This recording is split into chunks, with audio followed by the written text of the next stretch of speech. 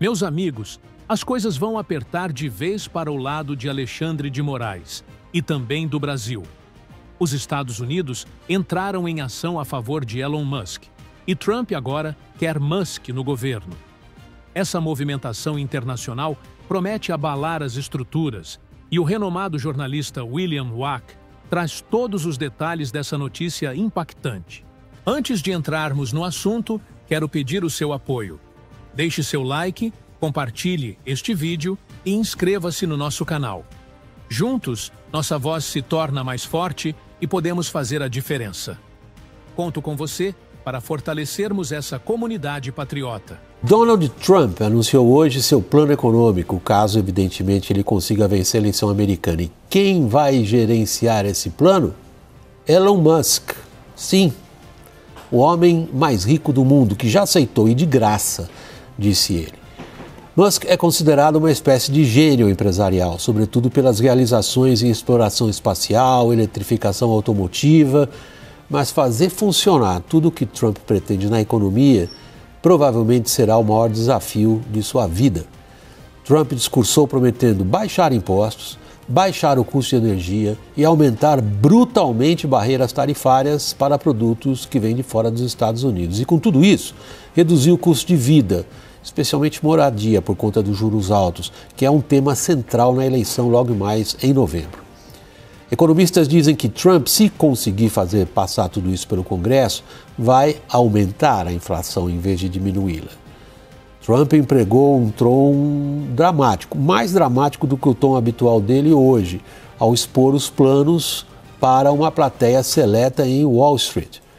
A combinação de pesquisas e intenção de votos assinala que a sua adversária, Kamala Harris, ela tem posição que agora se torna favorável a ela em alguns dos estados decisivos para a eleição americana.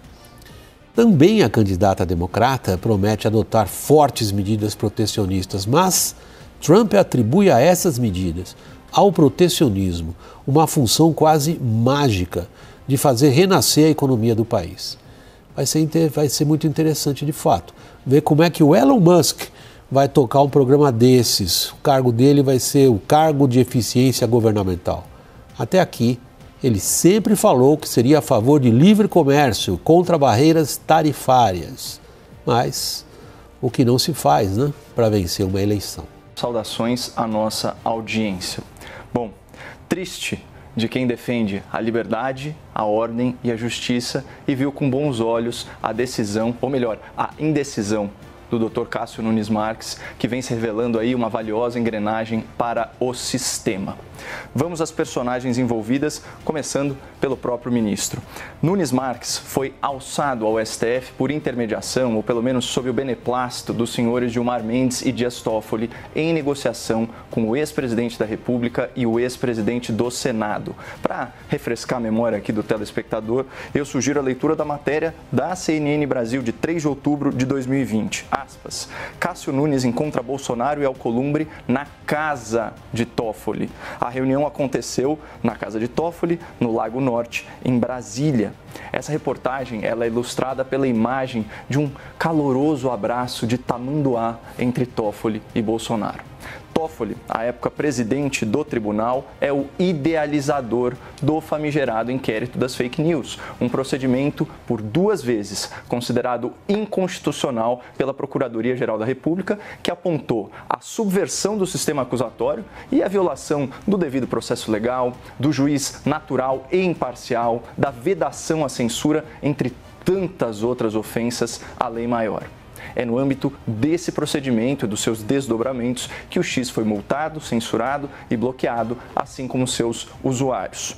Hoje, o inquérito das fake news é uma criança de 5 anos que já anda, já fala e é bilíngue, inclusive.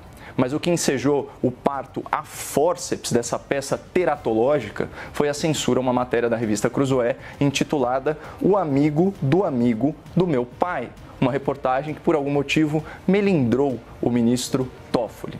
Mas vamos voltar aqui à ação pela inconstitucionalidade do bloqueio do X. Nunes Marques fez lá o seu teatro em linguagem propositalmente vaga, vaga e ambígua, insinuando que ele poderá submeter essa ação sobre o X a plenário, mas somente após as manifestações da nova Procuradoria-Geral da República e da nova Advocacia Geral da União, ambas indicadas pelo senhor Lula da Silva, que sempre foi um apoiador, um grande apoiador do inquérito das fake news e da censura às redes sociais. Então vamos lá. Quem que é o atual PGR? É o Dr. Paulo Gonet, um nome escolhido fora da lista tríplice, que quando atuava no Tribunal Superior Eleitoral, defendeu dupla condenação para tornar Bolsonaro inelegível. E quem é o atual AGU? É o Dr. Jorge Messias, um homem de confiança do lulopetismo que ficou nacionalmente conhecido como Bessias, o portador do termo, de, do termo de posse em caso de necessidade, que deveria livrar Lula da prisão por meio do foro privilegiado. Então, telespectador, vamos recapitular aqui comigo. O ministro Cássio Nunes Marques, relator sorteado, tem uma dívida de gratidão com o criador do inquérito das fake news e é no âmbito desse inquérito que o bloqueio do X foi determinado, calando com uma só canetada do senhor Alexandre de Moraes mais de 20 milhões de vozes, até confirmação pela primeira turma. A jurisprudência do tribunal é pacífica, o doutor Zé Eduardo vai falar isso em detalhes, porque é um especialista. Não cabe esse tipo de ação para esse tipo de decisão. E Nunes Marques sabe disso. Ele já saiu da festona naquele arte de luxo na Grécia, sabendo disso. Mas ele tem que acenar para a base eleitoral do ex-presidente que o indicou. Por isso, Nunes Marques sinaliza para o plenário, mantém a controvérsia aí em aberto, ganha tempo e chama para a mesa a PGR e a AGU indicadas pelo Lula, já sabendo qual vai ser o parecer. Na verdade, pessoal, na prática, o Nunes Marques está colaborando para que a blindagem jurídica, ou melhor, a blindagem pseudo-jurídica do ministro Alexandre de Moraes fique ainda mais espessa e revestida de maior oficialidade. Esse é, na minha opinião, o recado velado de Nunes Marques à sociedade, principalmente aos seus próprios colegas. O que, que ele quer dizer? Aguardemos o 7 de setembro e voltemos mais fortes, unidos em defesa de um dos nossos. Então, vamos lá. Meu prognóstico: haverá arquivamento da questão principal relacionada ao banimento do X e por cálculo político instigado pela OAB, sinalizado na divergência do ministro Fux, haverá um recuo sobre a imposição daquela multa esdrúxula a terceiros, que está entre os maiores absurdos da história jurídica nacional. Então, o melhor que as pessoas indignadas podem fazer, Basília, é comparecer às multidões nesse domingo na Avenida Paulista. E, por outro lado, quem acha que tudo isso é muito normal, pode ficar em casa aí criticando os manifestantes no, no Twitter. Oh, perdão, desculpa.